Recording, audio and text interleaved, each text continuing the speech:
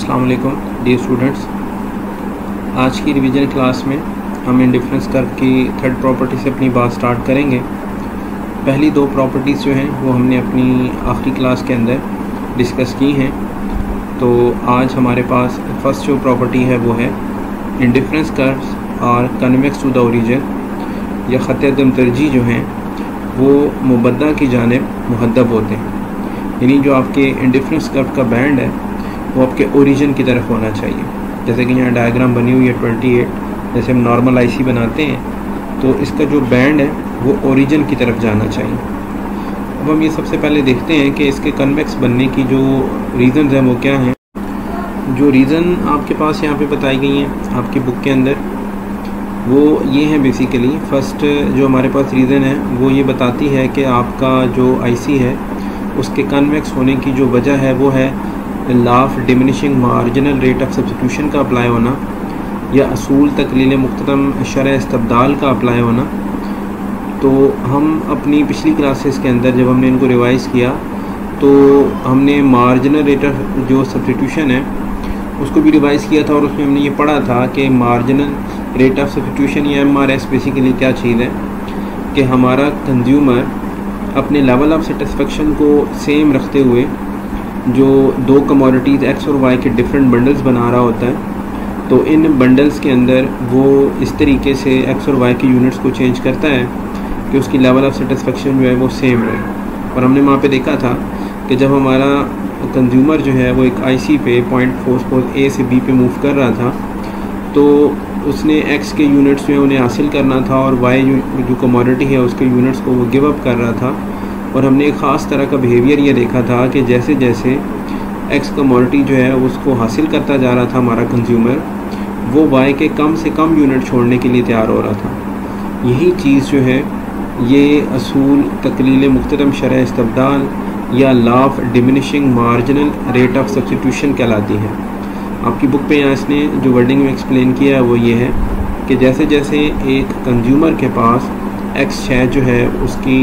बहुतात होती चली जाएगी वो ज़्यादा होती चली जाएगी उसके पास तो वो एक्स शय की मज़ीद एक इकाई को हासिल करने की खातिर वाई जो शय है उसको कम से कम जो है वो छोड़ता चला जाएगा। ठीक है? ये पहली रीज़न है आपके आईसी के कन्वेक्स होने की। जो सेकंड रीज़न है वो ये है कि जो दो कमोडिटीज़ हैं एक्स और वाई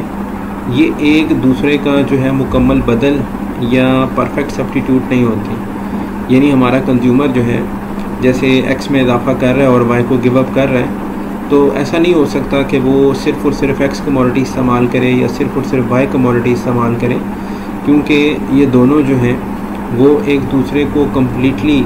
जो रिप्लेस नहीं कर सकती क्योंकि ये सब्टीट्यूट्स परफेक्ट नहीं है। ठीक है, आप इनको नए बंडल बनाते वक्त किसी एक चीज़ को छोड़ सकते हैं, दूसरे को हासिल कर सकते हैं, लेकिन हमारा कंज्यूमर जो है वो इनको परफेक्ट सब्टीट्यूट जो है वो कंसिडर नहीं कर रहा होता। अब अगर हम इस चीज़ को अपनी डायग्राम के अंदर देखें तो सेम उसी तरह की डायग्राम आपको नज़र आ रही है कि जैसे हमने मार्जिनल रेट ऑफ़ सब्सिट्यूशन या इंडिफरेंस कर्व को बनाते हुए दोनों टॉपिक्स के अंदर हमने देखी थी। फोर्स पोज हमारा कंज्यूमर जो है वो यहाँ पॉइंट ए पे मौजूद है और यहाँ पर उसके पास 12 यूनिट्स जो हैं वो सपोज़ वाई के हैं और एक यूनिट उसके पास एक्स का है। अगर हमारा कंज्यूमर पॉइंट ए से पॉइंट बी की तरफ़ मूव करता है तो यहाँ पर उसने जो यूनिट्स यहाँ पे गिव अप किए हैं वाई के फ़र्स्ट टाइम और जो उसने हासिल किए हैं एक्स के यूनिट अगर हम देखें तो ये हमारे पास डी वाई वन है, यानी जो उसने वाई के अंदर कमी लाई है और दूसरी साइड पे हमारे पास ये डी एक्स वन है जो एक्स के अंदर जो है वो इजाफा हुआ। है अब अगर हम इसके बाद पॉइंट बी से सी की तरफ़ जाएँ तो देखें, आपके पास जो डी वाई है वो हर अगली दफ़ा, यानी बी से सी पे जाते हुए सी से डी पे जाते हुए वाई के जो यूनिट्स गिव अप हो रहे हैं, वो कम होते चले जा रहे हैं। और अल्टीमेटली ये जो फोर्थ वन पॉइंट है, यहाँ पे शायद उसका हाफ़ यूनिट जो है, वो गिव अप कर रहा है। और इसी वजह से हम ये कह रहे हैं कि हमारा जो आईसी है, वो कन्वेक्स टू द ओरिजिन बनता है, कि हमारा जो मार्जिनल रेट ऑफ़ सब्सिट्यूशन है, वो डिमिनिशिंग होता है। अगर ये डिमिनिशिंग ना हो, ठीक है, यानी जो एम है, अगर वो डिक्रीजिंग ना हो, कम ना हो रहा हो, आपकी जो मुख्तरम शरह इस्तदाल है इसमें इजाफा हो रहा हो या ये कांस्टेंट हो तो आपके पास क्या पॉसिबिलिटीज़ होती हैं? इस चीज़ को डिस्कस करने के लिए हमारे पास अगले पेज पे जो डायग्राम्स हैं इनको देखें। अब अगर हम इस डायग्राम की बात करें जो पॉइंट ए के अंदर आपके पास बनी हुई है तो यहाँ हम ये सपोज़ कर रहे हैं कि हमारे पास जो इंडिफरेंस कर्व है वो अगर स्ट्रेट लाइन बन जाए देखें यहाँ पर स्ट्रेट लाइन बना हुआ है, है तो डाउनवर्ड स्लोपिंग यानी नेगेटिवली स्लोप है लेकिन है कैसा? स्ट्रेट लाइन है यानी वो कन्वेक्स टू द ओरिजन नहीं बना हुआ। अब ये जो स्ट्रेट लाइन है, इसके ऊपर इशू ये है कि आपका जो एम आर एस है, वो कांस्टेंट है। हर पॉइंट पे, यानी यहाँ पे अगर पॉइंट हम ए कंसिडर करें या फोर्थ पर बी है सी है डी है तो जूँ जूँ आप जो है रेट ऑफ़ चेंज देखते हैं, एक पॉइंट से मूव करते हुए दूसरे पॉइंट पे तो हर दफ़ा हमारा कंज्यूमर वाई के सेम यूनिट गिव अप कर रहा है एक्स के सेम यूनिट्स के लिए, ठीक है? तो इसका मतलब ये हुआ कि जो वाई का गिव अप है, वो सेम है तो हमारे पास जो मुख्तम शरह इस्तबदाल है वो कांस्टेंट है। तो इस तरह नहीं हो सकता क्योंकि हमने जो इंडिफ्रेंस कर्व है उसके अंदर ये देखा था, बनाते हुए कि जैसे जैसे आप एक्स के यूनिट्स हासिल कर रहे हैं तो वो एक नॉर्मल कमोडिटी है, वो नॉर्मल गुड है तो उससे यूटिलिटी में इजाफा होगा और दूसरी साइड पे जो हम law of margin diminishing marginal utility पढ़ते हैं तो उसमें हमने ये पढ़ा था कि जैसे जैसे किसी कमोडिटी की मकदार ज़्यादा होती चली जाएगी हमारे पास वैसे वैसे उस चीज़ के अंदर जो मौजूद यूटिलिटी है, वो कंज्यूमर को कम से कम नज़र आना शुरू हो जाती है। अगर हम वाई कमोडिटी की बात करें तो जैसे जैसे हम वाई को गिव अप कर रहे होते हैं, उसकी मकदार हमारे पास कम होती चली जाती है। यानी अगर आप law of diminishing marginal utility के टेबल को ध्यान में रखें तो जैसे जैसे हम ऊपर की तरफ़ मूव करेंगे नीचे से तो हम शुरू के यूनिट्स के अंदर जो है, वो हमारी मार्जिनल यूटिलिटी हाई होती है। तो इसी वजह से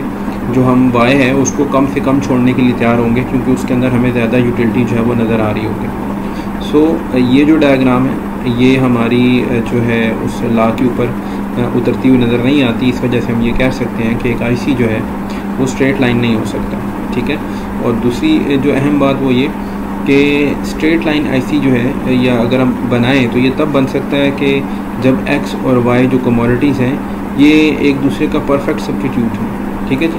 अगर परफेक्ट सब्टीट्यूट्स होंगे तो हमारे पास जो है, वो इस तरह का इंडिफरेंस कर बन सकता है। लेकिन नॉर्मली हम जो एक्स और वाई कमोडिटीज़ लेते हैं, वो एक दूसरे का सब्टीट्यूट तो होती हैं, लेकिन परफेक्ट सब्टीट्यूट नहीं होती। नेक्स्ट चीज़ जो है इस तरह की डायग्राम के अंदर एक और इशू जो आता है, उसे कहा जाता है कॉर्नर सोल्यूशन ठीक है? कॉर्नर सोल्यूशन क्या है? कि हमारे पास जो हमारा इंडिफरेंस कर्व है, अगर हम इसको एक्सटेंड करते हैं तो ये हमारी जो एक्सेस है एक्स एक्सेस या वाई एक्सेस के साथ जो है वो टच हो जाता है। और एक्सेस के साथ टच होने का मतलब ये है कि हमारा कंज्यूमर अपनी सारी की सारी इनकम जो है, वो ख़र्च कर रहा होगा, यानी उसके एक कमोडिटी के ऊपर, यानी वो कमोडिटी एक्स हो सकती है या वो कमोडिटी वाई हो सकती है, ठीक है? तो यहाँ उसने देखें एक्सप्लेनेशन में ये चीज़ बताई भी है आपको कि कॉर्नर सोल्यूशन जो है, वो रियल लाइफ में बिल्कुल नहीं मतलब आपके पास होगी,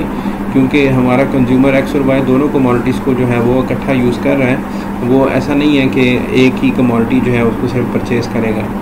यही बात हमने अदमशन में भी पढ़ी थी कि जब हम ऑर्डिनल यूटिलिटी अप्रोच को स्टार्ट कर रहे थे तो हमने कहा था कि हमारा कंज्यूमर जो है जब भी इस अप्रोच के अंदर चलेगा तो उससे कम अज़ कम दो जो कमोडिटीज़ हैं उन्हें इस्तेमाल जो है वो करना पड़ेगा। ठीक है जी? तो ये कॉर्नर सोल्यूशन भी जो आपके पास एक इशू है, वो स्ट्रेट लाइन आईसी के अंदर आ सकता है।